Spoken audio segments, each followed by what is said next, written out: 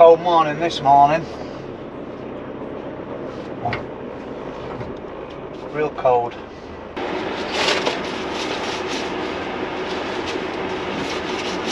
The chuffing out visitors are froze up in front of the van. That's not good.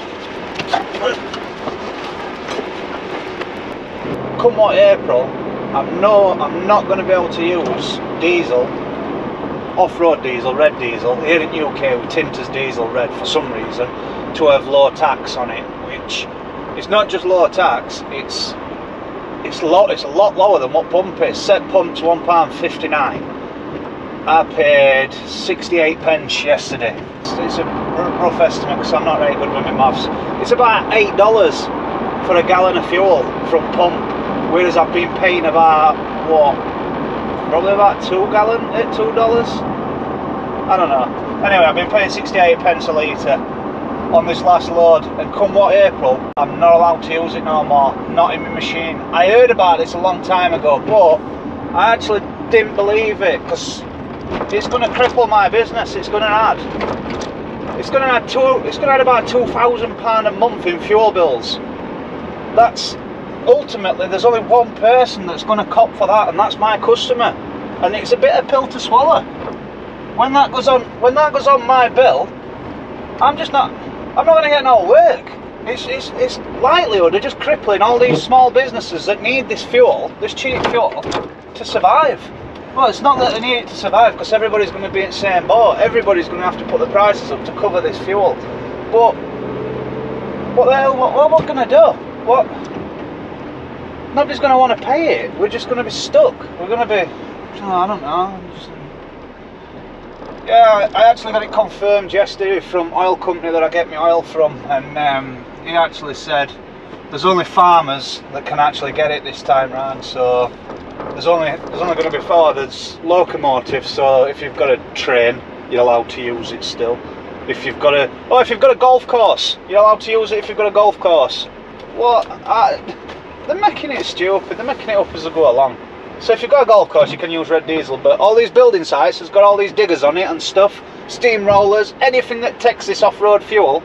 Yeah, turns out that you're going to end up paying, paying top dollar for it. So it's just going to encourage theft. Well, I believe it's going to encourage theft because all these like, I don't know, power screeds and stuff like that, these crushers that's up in woods, that's on site, say, oh, that's on site, that's not manned, and it's in middle of wilderness.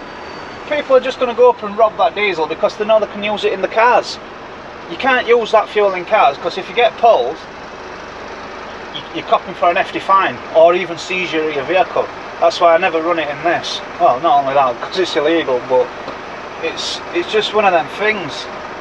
I don't know what's going to happen with it. Like today, we're going to a yard, and there must be what? There must be 200 300 machines in this yard. And they all they're all heavy engines. They're all really really heavy engines. So like they're all loading shovels and stuff like that and telehandlers and and just big heavy stuff that that don't need white diesel in it but it's just what's going to happen. Anyway that's my rant over with for today. Frost on top of things. This ain't good. This ain't good at all now, if anybody's wondering, that this will be this will be it for me for today. I'll not eat out until till come what six, seven o'clock. Might even be might even be what? Might even be eight o'clock, depending on what time I last puts tea on. Because um, whatever day we're on, Wednesday. Kids kids do gymnastics and stuff, so she's got an hectic schedule as soon as she gets back from school. She'll get school run rush on for my other son that gets dropped off on bus. Yeah, he, get, he gets dropped off because he's on a wheel, he's got a wheelchair, so he needs special assistance to get home. But when he gets home, that's she gets in car and then she takes eldest two to gymnastics, and then uh, she rushes back, gets him changed, gets him ready for bed or whatever, gets him get him his tea and stuff, and then uh, she's got to rush back out and pick kids back up. Uh, it's a bit of an hectic schedule. What? Like I say, I like to, I like to try and keep, keep it as normal as possible for other kids. I know a lot of you might not know that I've got a disabled son, and uh, he has got some, a lot of special care. He, he does need a lot of special care. So when it comes to when it comes to other two doing what they want to do and living a normal life, well, I say it's a normal life, the so-called as normal as what it can be for a 12 and a 9 year old. So we, we try and just keep things, just try and keep things normal for them, best we can anyway. So if it means them being an hectic schedule, going to gymnastics on a night time, so be it.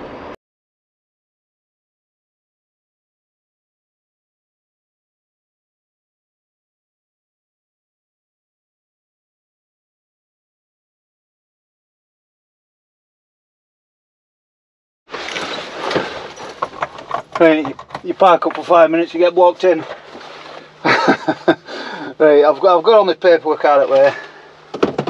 Yeah, look at this. Work in progress. Anyway, I've had to sign my life away to get on this site. So I'll put that in window at van. I've got to go down there now, wait for him to bring it machine. Things have changed up here. I mean like loads. She's just been telling me in office, you've got to, you can't cross over at road. I know, I, I know it's a road and stuff, but there's designated footways, footpaths and stuff that you've got to abide by.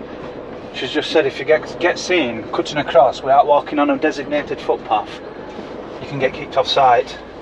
It's that serious. There's they've, they've gone to town with health and safety, and I mean like this, which is a good thing really, because it puts everybody at mind at ease. Like say somebody's driving a machine down there that's I don't know, it might have a broken window or something, and they're taking it to workshop. If they're putting it in workshop and they can't see how they're driving, they might have a banksman with them. If somebody runs out in front on it, crossing road to nip to stores or to new parts or whatever, it's a no-brainer, isn't it? It makes sense. But I just hope he's not going to dilly-dally fetching it down. Because it's, uh, it's half past eight now. We need to make a start. We should have been set up running now. To be towing for time, I think, but the thing that it just said, or the, the, the machine has just showed me, it ain't as bad as what they were making out on phone yesterday, so that's a bonus. I should be able to get done a little bit quicker than uh, a little bit quicker than what I'd, I'd normally get done. I don't know. We'll see. It looks it looks a nice job. That's a nice job. It's a rusty old machine. And this is a bumpy old road. See, I'm not bothered about my van on here. Bumping about it's my compressor because I've actually got a plug on my injection pump and wires. When they're tugging about and it's bouncing up and down. It, it stops it from revving. So obviously I, I can't get enough power out of my machine. So I know my wiring's at fault on my machine and I know exactly what plug it is but I can't buy the plug. They want 1800 quid plus VAT for wiring harness for it and it's I'm not paying that for for sake of plug welding on it or soldering on so I need to get around doing that. Oh man, what am I going to do here? The but it ain't mess of this mug. This is where I normally blast here. So I might just have to take it up a little bit more. I'll put it there and I'll park money and I can. Well, it's company's here anyway with the machine. I better turn round. I'm going to take him. I'm going to take him back.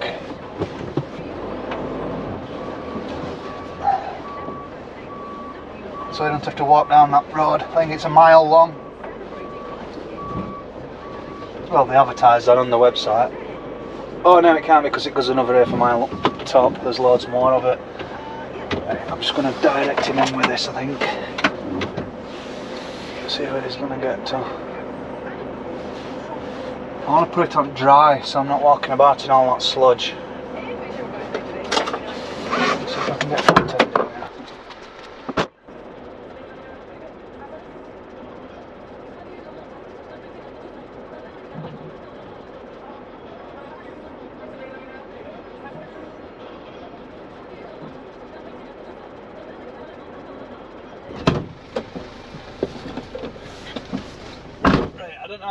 this because I want to be able to get my van as far away as possible but I don't want my pipes getting covered in sludge it's deep there with sludge that's about driest bit there's a bit there that's dry I think if I uh, if I back up there and come out at sliding, sliding a passenger side, which I'm for American guys, it's that side, it's going to be the wrong way around, but I want my compressor up there out of the way if I can help it. I don't want my compressor breathing all dust in.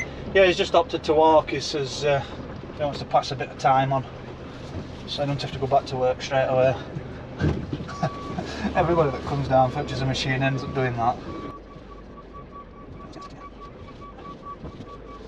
Yeah, this company actually owns, they own all this. They don't own that field, but they own this land. And they own all that, all the way up to gates, up top. So, we're actually allowed to blast it here. Just, isn't just a matter of doing it at side road. It is actually their land. Prime example why uh, that's a bumpy road and this is what happens to it.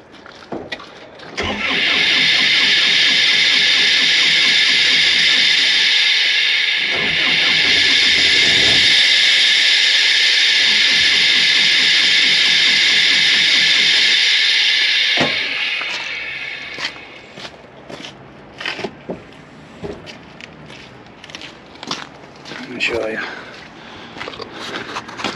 I don't know if I'll be able to do this one-handed, but there's a plug just there. That's uh, that actually bounces about and it's uh, it's come loose. Get that a wiggle. Get that one a wiggle.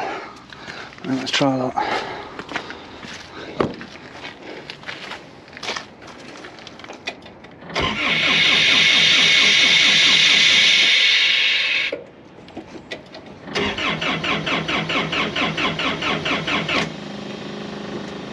No, no, no, no, no. No, no, no, no, no.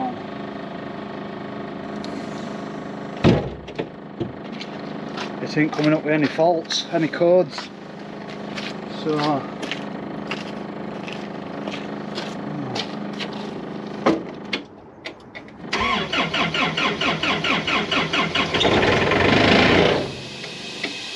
Getting shut down. Someone's shutting it down.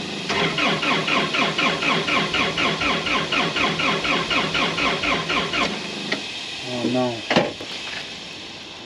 We don't want this. Not today.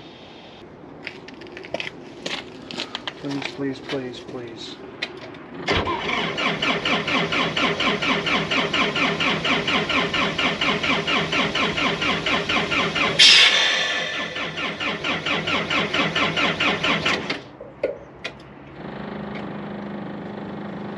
Come on, please.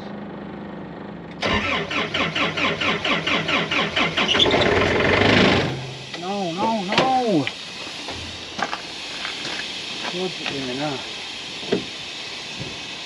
Five.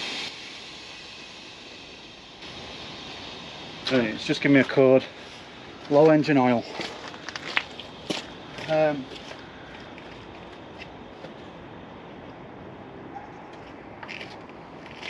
find something to wipe this way.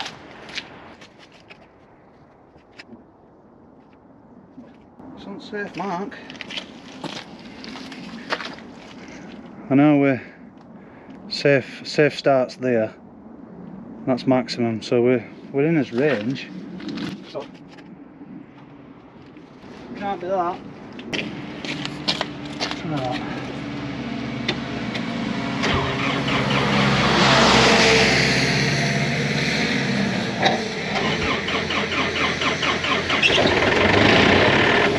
No, no, no!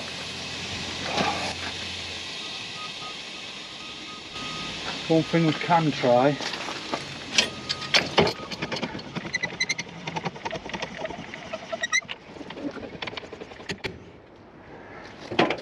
So that does.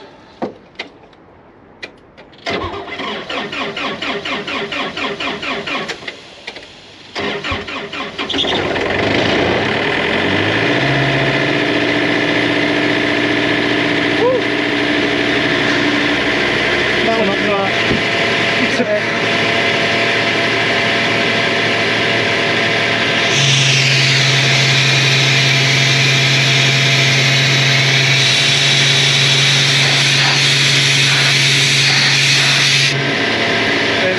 just done that is because clogs up with condensation inside line.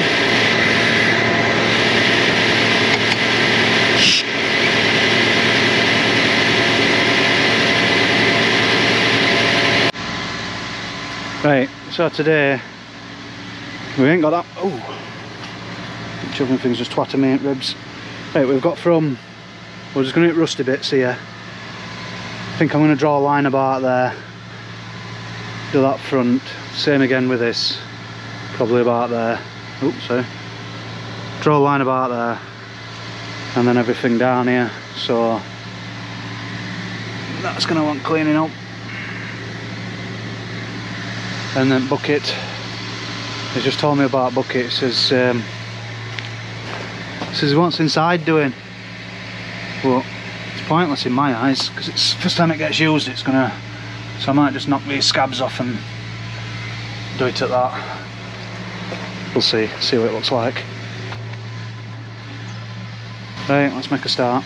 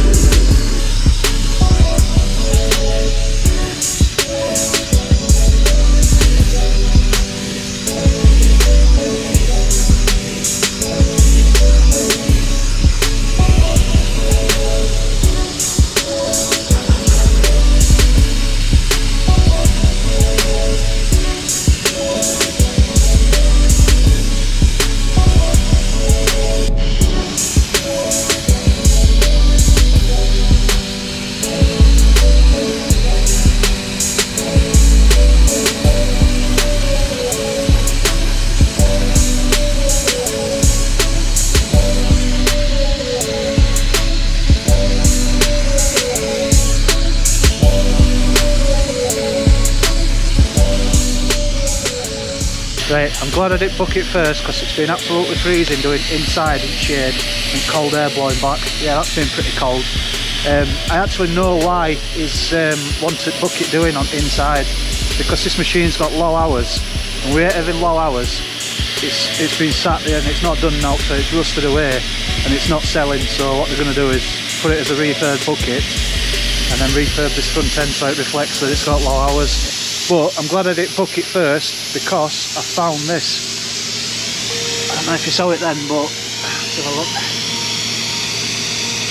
See it drip then? It's dripping hydraulic from down there somewhere. So I'm just taking this as a note so they know that I ain't done it. But I'm going to do it anyway because obviously it's got, still got a fault but it's not my fault it's already leaking. Right, let's get on to this now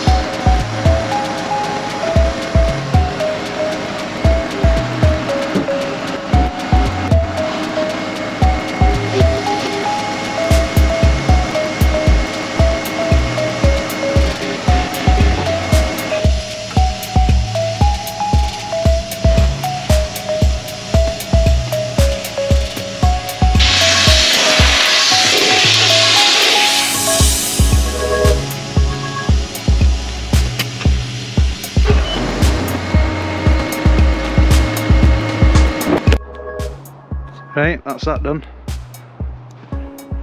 That inside took a little, bit longer than I wanted it to, but yeah, we got there. I ended up causing myself some work with that oil leak. When I knocked the scab off, it was blowing, it was blowing oil to the bucket, and I didn't notice until I, I'd stopped and I saw oil leaks on it. So I went back over it again. It's pointless really because as soon as it goes into some muck, it's just going to pull all the paint back off anyway but that's what they wanted to do it so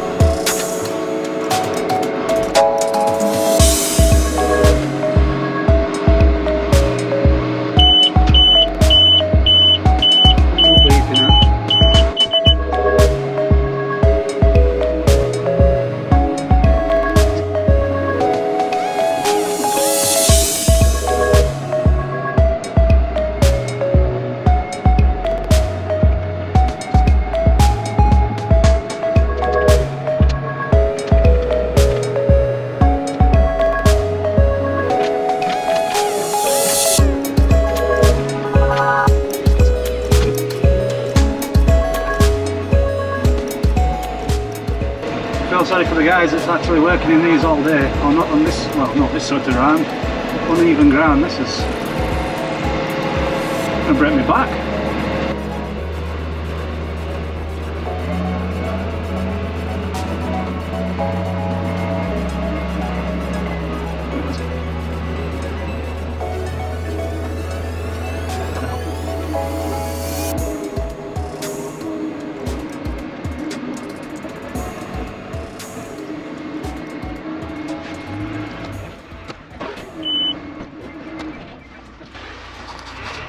Catch you next time.